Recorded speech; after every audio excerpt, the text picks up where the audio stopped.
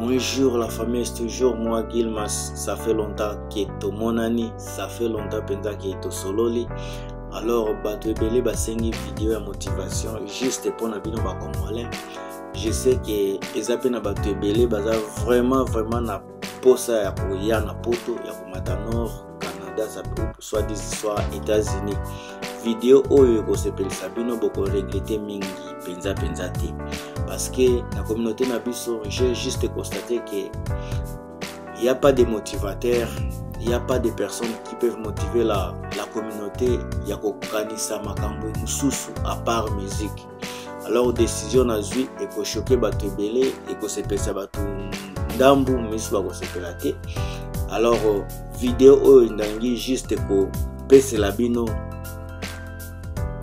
ndenge ya koya na poto surtout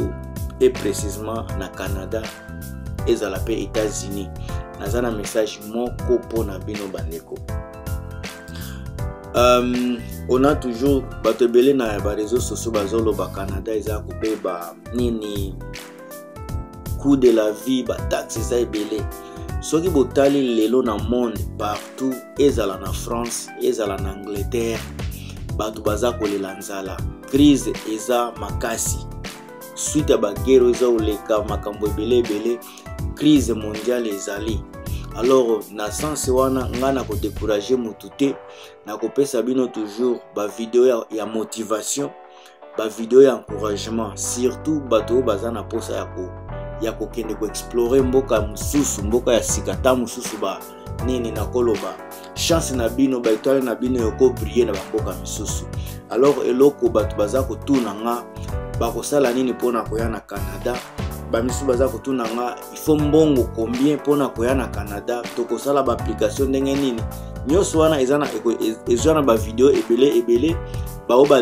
balelaka français baza na chaîne na bango deja kuna na français eza kosala makambo oyo ya gilmas le motivateur eza na bavideo ebele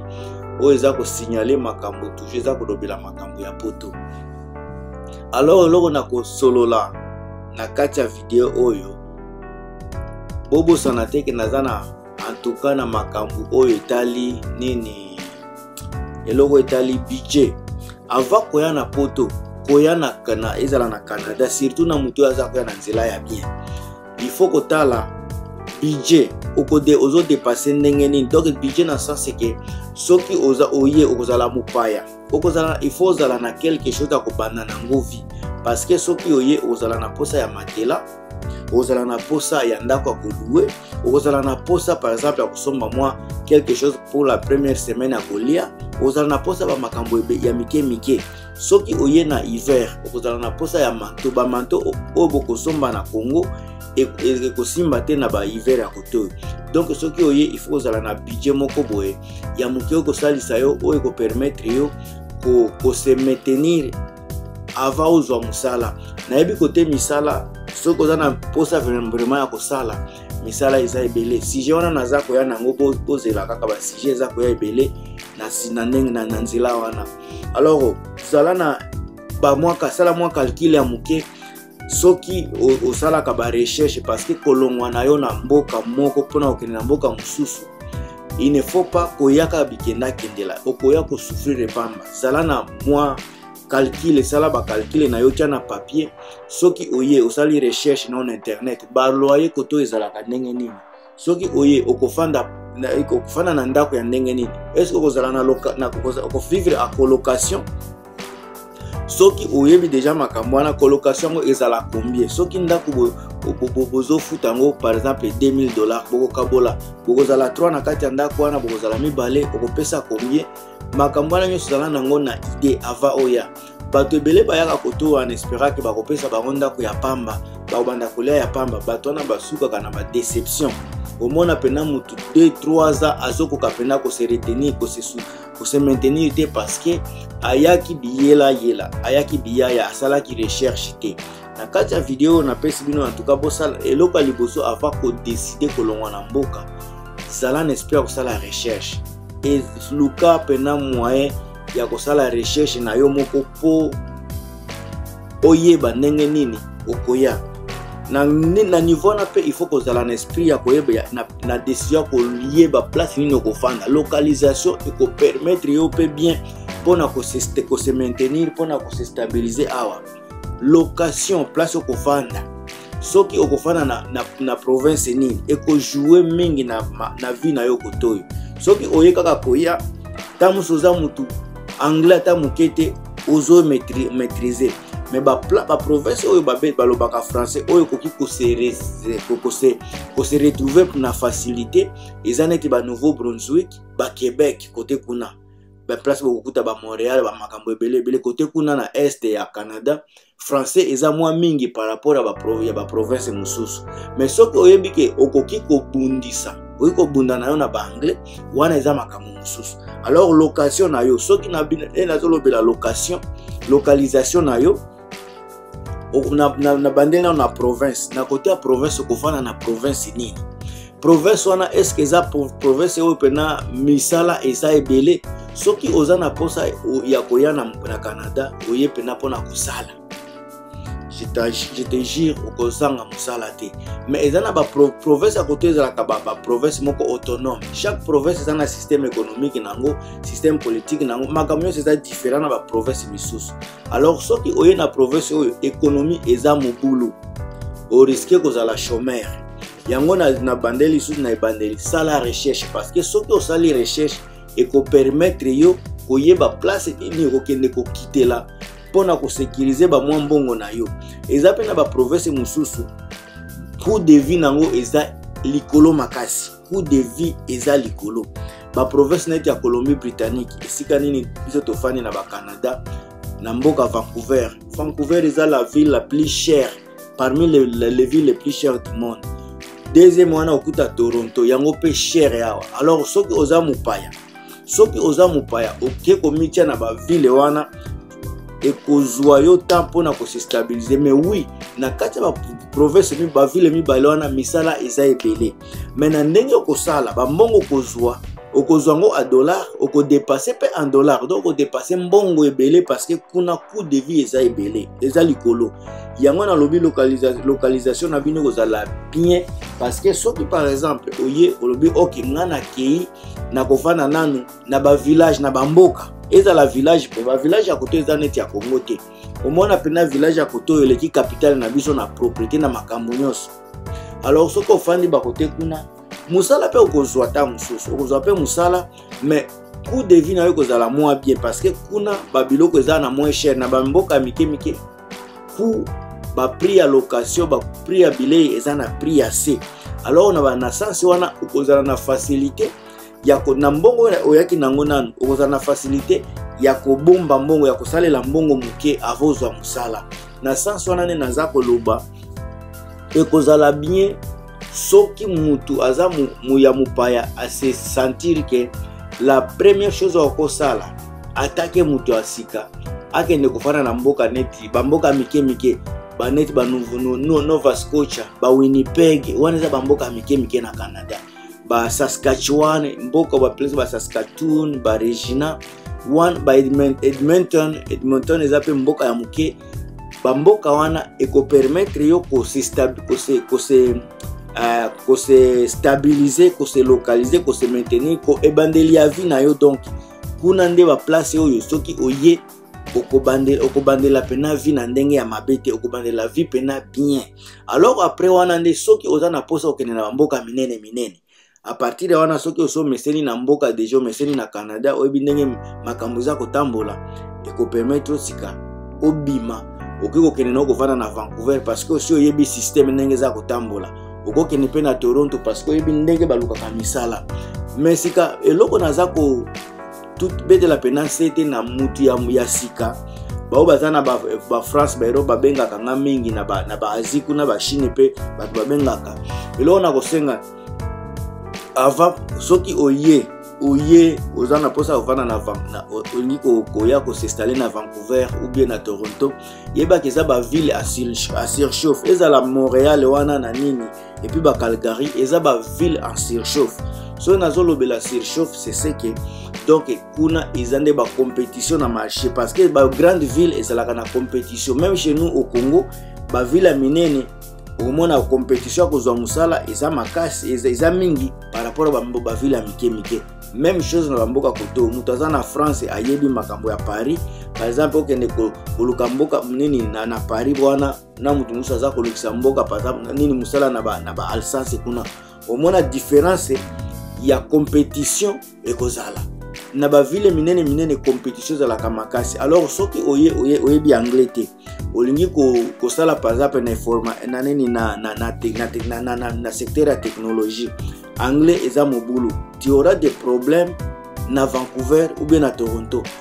mais soki oke na français na yo bien mpenza oza na français ya bien oke na montréal parce que montréal eza, eza hobby ya nini ya, ya teknologie ya, ya canada kuna epi basololaka de minoko soki oza moto ya batechnologie oke na toro na montréal okose retrouve facilement mais nalobi te okose retrouve kaka boye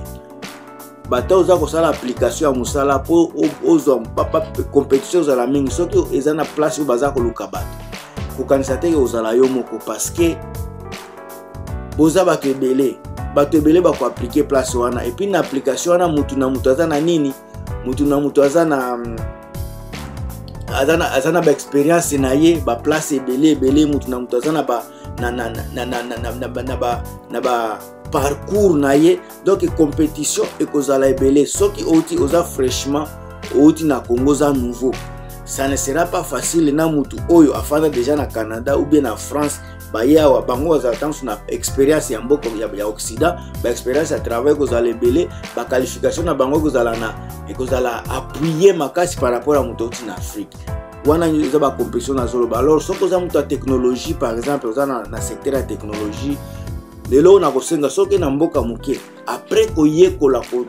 koyekola systeme baexperience canadienne wana sika omati malembe malembe obandi kokende na bavile ya minene ekosalisa yo ndeko na nga okoregrete te na video naza kosala soki oyoki nga mpena olandi nga bien lobi yo moko kobenga koremercie nga na makambo naza koloba nayebi ke ça fait eza rare komona bato ba encourager bandeko baza koya eza mpasi komona bato bapesa bato balakisa bato banzela bapesaka baconseil na bato ya sika yango tozomona kominauté na biso bato ya sika bazalaka na souffrance bayebaka te ndenge nini ya kosala makambo place nini kokende place nini kozonga congolais azalaka na tendance toujours ya komona mutu aza koechoue congolais azalaka na tendance toujours ya komona mutu oyo aza na souffrance me biso baoyo toleki deja nzela wana toyebi ke su ndenge souffrance ezalaka surtout na mboka mopaya oza mokongole oza mwindu oza na mboka mopaya mboka mindele toyebi bien ke racisme ekozangaka te discrimination ezalaka nango toujours alors soki tokutani kote oyo ekozala bien tosalisana yango mpo na benga mutu na mutu eza impossible mpona bato oyo nakoyeba na monde bakozala mpenza moke par rapport ya makambo yango nadeside kosala video video ekosalisa oyo aza na mposa ya koyoka video akoyoka na ye ekosalisa ye yango na kosenga na bino avanda kontinue soki bolandi nga ntina miniti oyo botyela nga balaki bokomante so komantere eza epuis soki bokolinga kopartage video oyo ekomela bandeko na bino bamasta oyo baza pembeni baza na chance ya kozwa ya koyoka video oyo bopesa bango bachance oyo bopesa bango video oyo botindela bango video bayoka alors so tokoti na makambo ya marché du travail marché du travail sika koto eza kodépendre na bacapacité mpe na baqualification na yo e nazolobela qualité nazolobela sika banini ba courage oyaki na objectif nini oza na projet nini oza na bamakambo wana eza telema essentiel kotiaka yango na mesa bato ebele bazoyaka na poto sans objectif sans vision sans plan yango bozomona baza koechoue alors bandeko ngai nalingi te komona congolais aechoue na mboka na, na, na, na, na libanda yango nazosala video nasali na, na video naza kotyela bino sika nazolobela sika eloko babengi marché du travail awa na canada to na états-unis tozalaka na système presque moko alors soki oza na mposa ya kosala na niveau ya canada yo sala nano omituna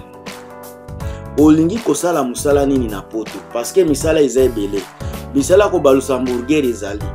misala ya kosala na bamanufacture eza misala mpe ya baentre ya nini ya, apra, ya, ya, ya baapprenti ezali misala mpe professionnel eza eza yo moto okodefinire mosala nini olingi kosala soki oza vraiment na mposa ya koresir sika na canada obe états-unis yango mpe kutu eza kosexplike na bato ya europe soki olingi koresir par exemple oye na canada oza deja mokolo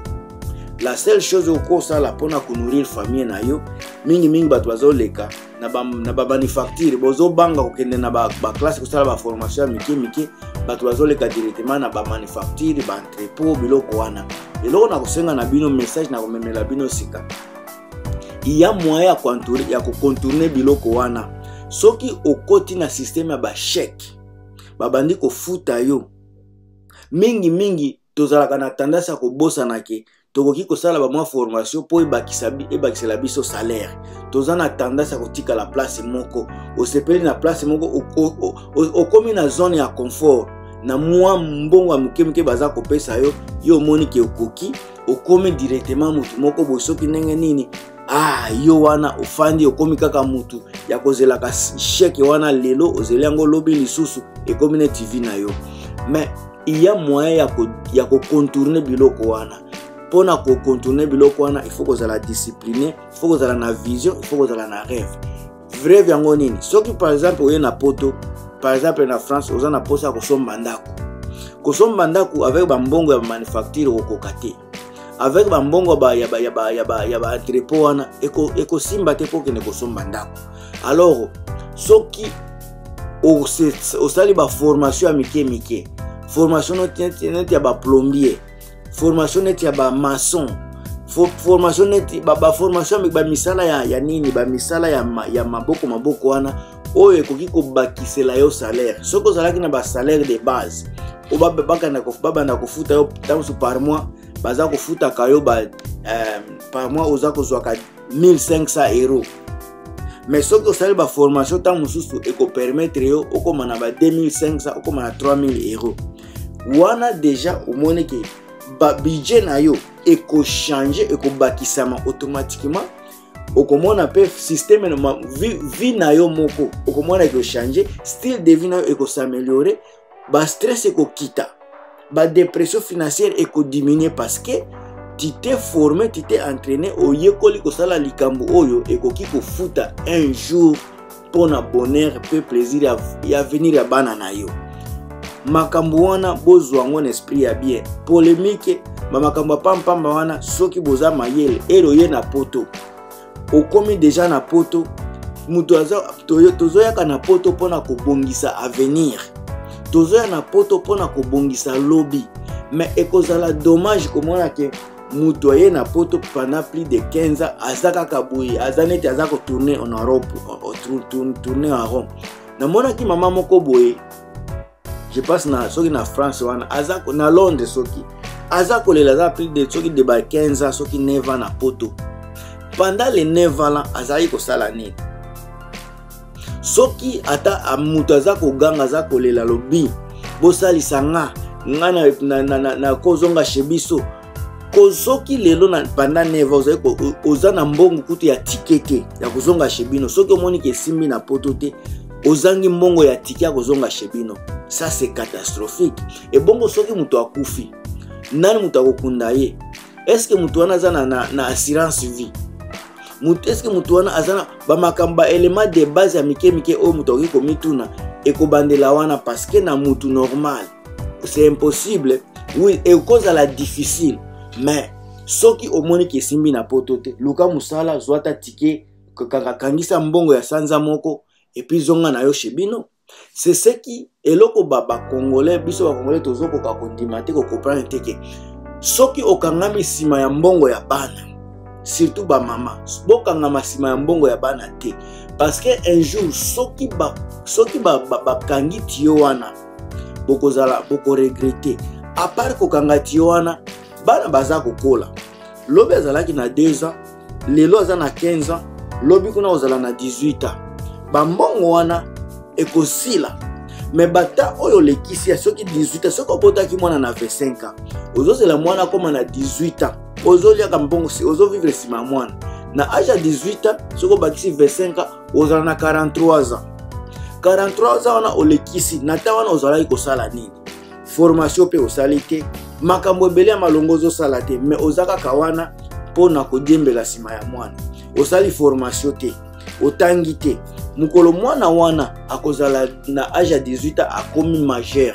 mbongo wana bakati nde na age wana ozokoma deja mokolo force oyo ozalaki nango na age ya 20 ans eza te force ozalaki na yango na age ya 18 ans eza esusu te force ozalaki na yango na age ya 30 ans eza te okomi ndo ozokende na konuna ozokende na koma mobange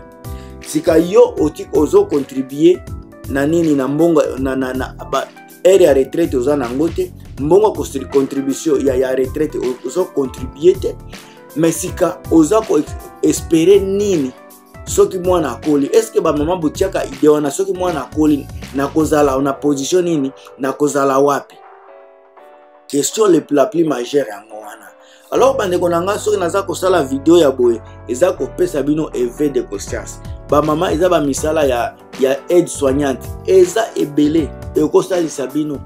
apart aide soignante eza na misala ebele ce n'est pas parce que moko asalaki aide soignante nde bino nyonso bokoma kuna majorité ya bamama na biso na poto boza na ba aide soignante bozokende na maison ya vida ya bavieillare wana kosala misala ce qui est bon ce qui est honorable mais apart ça